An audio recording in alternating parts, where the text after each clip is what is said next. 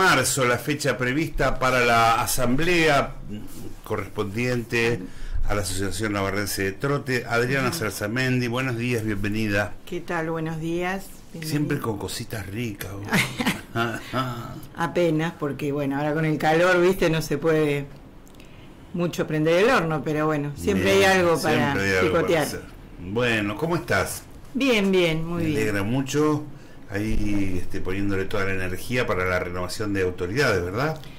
En realidad no, no es una eh, renovación total, digamos, porque claro, porque eso ya se hizo el año pasado. Lo que sí, este, en esta asamblea va a haber un ordenamiento, digamos, que mm, más que nada a los efectos legales en personería jurídica porque si bien todos los años se cumplía con hacer la asamblea anual ordinaria, eh, bueno, en realidad eh, nunca se había presentado, las novedades se tienen que presentar en personería y nunca este, fue hecho.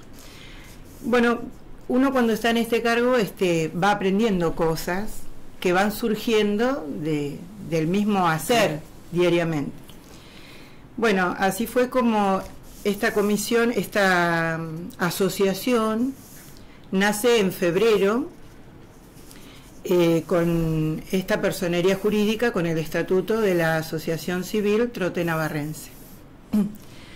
Bueno, eh, los miembros que conformaron esa comisión directiva tenían un mandato de cuatro años. Eh, bueno, después por el por el hecho de ir haciendo, bueno, se producen desgastes, hay renuncias, hay incorporaciones que van a suplantar cargos que quedaron vacantes, bueno.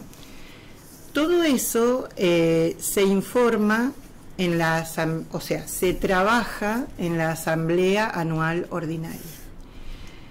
Por ahí eh, se ha escuchado decir se aplica el estatuto. No, no se aplica, se convive con el estatuto, ¿no? Porque el estatuto es lo que regula el normal desenvolvimiento de la asociación, ¿no? Sí. Porque si bien la comisión directiva tiene facultades para hacer y decidir, después este, esas novedades se trabajan y se tratan en la Asamblea Anual Ordinaria y bueno, y se aprueba por mayoría, por unanimidad, bueno. Eh, generalmente estamos acostumbrados a que se presenta la memoria y el balance. Bueno, eh, yo mm, esto que te estoy contando, que les estoy contando, no es que sale de mí porque yo, a mí me parece que esto es así. O sea, yo tengo que guiarme por lo que es, eh, digamos, la ley, el reglamento. Por eso eh, nos está ayudando una escribana eh, que se dedica a asociaciones civiles, que viene a la escribanía Martínez una vez por semana y nos va a guiar en este ordenamiento, ¿sí? Este, también a raíz de, del hacer, surgió este, la inquietud, bueno, en un momento nos pidieron el quit y a raíz de, bueno, yo querer hacer un inventario, este, yo antes de ser docente, bueno, me recibí de perito mercantil y le digo a uno de mis hijos, este, yo quiero hacer el inventario, le digo, ¿por qué no, no me acuerdo en realidad cómo, le digo, haceme un diagrama. Pero dice, mami, no es así tan fácil. Eh, no son solo las cosas eh, muebles, ¿no? Por ejemplo, computadoras. Entonces, este, bueno, y a raíz de que nos pidieron el quit en, en un comercio, este, bueno, empezamos a indagar y claro, eh, una vez que nace la asociación civil, y tiene, se constituye con un estatuto, desde el día 1 eh, ya está comprometida con ese quit. Es el, nace la persona y su, documento es su DNI. Perfecto, así es. Y tiene una vida, como en vez de tener vacunas, tiene presentaciones y, y bueno, una cosa va llevando a la otra. Entonces, este, bueno, eh, tenemos, ya te lo habrá contado Claudio, eh, nuestra contadora es Marilyn Dileo, que también tuvo que hacer un reordenamiento de los balances, que si bien estaban aprobados, este, no, no habían sido presentados en personería jurídica. Por ahí no de mala fe, por ahí uno no sabe, porque como es algo nuevo... Tal cual lo está describiendo, es muy posible que haya muchas cosas que se... Claro, eh, por ahí la anterior comisión sí eh, es una necesidad tener un estatuto y una, una asociación legalmente constituida, pero este mm, no por ahí uno no tiene la suficiente información de cómo continuar si no tiene el apoyo de alguien que, que te vaya llevando, ¿no es cierto? Por ejemplo, nosotros en un momento Marilyn nos dijo, bueno, esto está ahora ordenado, pero hay que presentarlo en personería jurídica. Bueno, también a los efectos de esa presentación, este, me comuniqué con Franco, que es el hermano, que bueno, yo ellos los conozco desde chicos y, y bueno, me dice, sí, se puede hacer, se puede hacer online para ahorrarnos un costo, pero en realidad este, no, es, no es tan fácil. Lleva no solo la presentación de la memoria de balance, sino también las presentaciones de las asambleas y bueno, todo lo que tiene que Por eso en esta asamblea va a ser importante porque es un ordenamiento legal, ¿no es cierto? Entonces, además de las presentaciones de los balances a la asamblea, porque eh, el estatuto lo, tiene que, lo tienen que conocer todos los socios.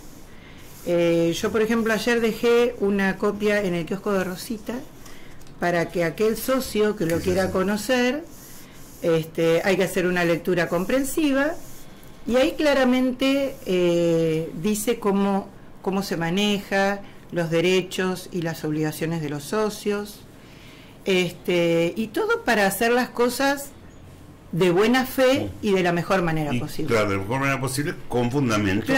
Claro, con fundamentos, porque yo puedo decir, bueno, eh, no, eh, a nosotros nos parece que esto es así, porque bueno, siempre se hizo, bueno, pero nosotros lo que tenemos que hacer es lo que corresponde, no lo que creemos que se hace. ¿Sí? Sí, sí, ese es el rumbo que tienen que seguir las instituciones cada vez más. Sí, y bueno, Navarro es uno de los pocos eh, hipódromos que está ordenado así legalmente, tanto en la parte contable como en la parte jurídica. Eh, tiene una comisión que, bueno, si bien este, fuimos elegidos en marzo del año pasado y todo, se hicieron actas, pero ya te digo, en la ignorancia mm. nadie presentó lo que había que presentar, por eso este ordenamiento en esta asamblea anual ordinaria, que para eso, eh, o sea, todas las modificaciones o, o temas que hay que tratar legalmente, este, bueno, es una oportunidad. Así que lo deseable sería que llegara a la asamblea y los, los socios estuvieran familiarizados con claro, el Claro, y tienen que, por favor, concurrir, ¿sí?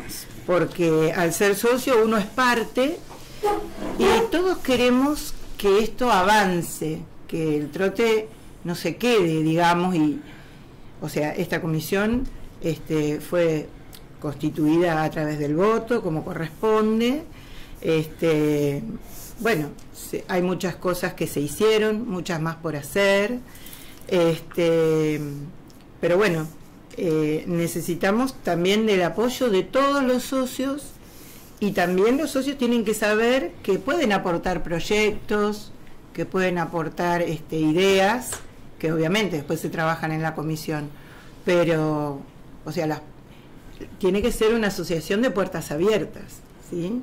Claramente. La invitación es entonces para que el primer paso sea familiarizarse con el estatuto y esperar el 2 de marzo. El 3 de marzo. 3 de marzo, Claro, en, a las 21.30 horas en el Salón de Actos de la Municipalidad de Navarro. Ajá, allí va a ser la asamblea. Allí va a ser. Y se conocerá previamente cuál es el temario a abordar. Obvio, este, por eso la mm, convocatoria que sale en el diario, que yo mandé a los medios, porque mm, uno de los requisitos es convocar asamblea un mes antes de la fecha para que Claro, sí, sí. para dar lugar a que todos Hablando de los- requisitos y de formalidades. Claro, claro. O sea, ya empezamos con la formalidad de la preparación de la asamblea. Bien, eso será para que llegue el momento de la asamblea. Mientras tanto, eh, ¿cómo fue la reunión del domingo? Fue muy linda, eh, general, eh, tanto la de este domingo como la del anterior, este, fue el público, la asistencia del público fue casi igual, pero a su vez, si bien no hubo una ganancia, digamos, excesiva, sí salvamos los gastos y bueno, hubo un mínimo, digamos, de Bueno, pero es como que está medio planteado así. Claro. Entonces, este, se- la comisión de carreras tuvo la idea de hacer en la última carrera un repechaje, este, donde corrían, donde corrieron caballos de cuarta y quinta categoría que ya habían participado anteriormente ese día. Y bueno, por ahí algunos eh, no le tenían fe, esto uno hipotetiza antes, así Claudio también este, hace un, un estudio previo de cómo va a ser la situación monetaria, ¿no? Porque cuesta una moneda abrir las puertas del hipódromo, aunque sean tres carreras, Sí, dos sí. carreras, nosotros tenemos los, los Los mismos gastos gastos. fijos, sí. Exacto. Y bueno, y mm, casualmente después conversando, yo estuve con otras personas porque estaba en otro lugar y decían, unos pensaban que no se iba, no iba a tener mucho movimiento de interés y otros decían no porque es una carrera pareja y sí, este, fue exitosa, este, porque eran más o menos todos parejos y bueno, este, eso ¿Cuándo sería la aportó una cuota de positividad. Claro, ¿cuándo será la próxima reunión? Si Dios quiere, esperamos que dentro de 15 días. Este, siempre este, estamos sujetos a, a la- a los caballos que, que puedan inscribirse. Y, bueno. Y están aumentando, viste, ya hay más potrillos, entonces hubo una época que se había vendido, Claudio lo explicó, este, algunos sueltan a las madres este, para descanso o para, por preñez, y, y bueno, y ahora llegan los potrillos. Qué lindo. Sí. Bueno, eh, entonces, las reuniones van a continuar, ya iremos informando. Socios del... socios activos del- que cumplan con su cuota social. que, que estén al día y que puedan, tengan todas las formalidades, participen, porque esa participación es importante. Claro, eso nos hace crecer y nos hace también, nos hacen, nos dan un, un- ¿cómo decirte? Saber dónde estamos parados y, y hacer las cosas Claro. por ahí y seguir Sí, sí. haciéndolas bien y mejorar lo que hay que mejorar, ¿no es cierto? Pero Bueno. es un momento de, de diálogo y de acercamiento, eh, es una oportunidad la Que asamblea. todos, de- los, que todos lo entendamos así, porque Claro. es para bien. Obvio, Es para bien, es Sí, para sumar, es para acordar, Claro.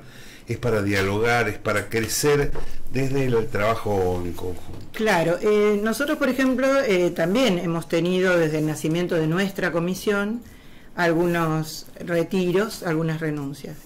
Que bueno, se redistribuyeron los cargos de la mejor manera posible para poder continuar esta gestión hasta que este, dure nuestro mandato este, de la mejor manera posible, ¿no?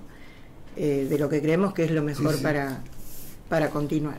Así que bueno, este, los esperamos a todos y te agradecemos el eh, No, este momento y también a la municipalidad que siempre nos da una mano en este en este caso prestándonos el, el salón. Un placer siempre, esta es tu casa, la casa Bueno, de muchísimas gracias a ustedes. Los amigos del trote quieren eh, seguir mejorando la institucionalidad y en manos de los socios, de los activos, de los amantes de la, de la disciplina, este, está justamente lograr ese mejoramiento que será pasito a pasito. Otra vez gracias.